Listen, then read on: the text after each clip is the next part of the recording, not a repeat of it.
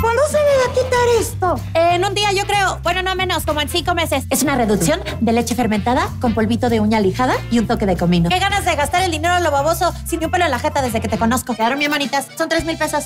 ¿What? Que esos granos te los tienes que checar con un doctor. ¿Y tú qué haces aquí? Yo nada más vine a leer un poco. Hay que aprovechar que la luna no está en Mercurio retrógrado. ¿Qué hacen enteres? Ascendía emprendedora. Se.